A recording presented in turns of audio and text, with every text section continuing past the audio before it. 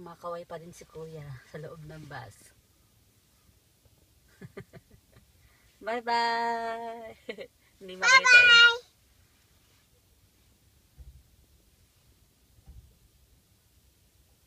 Malamig pa naman doon.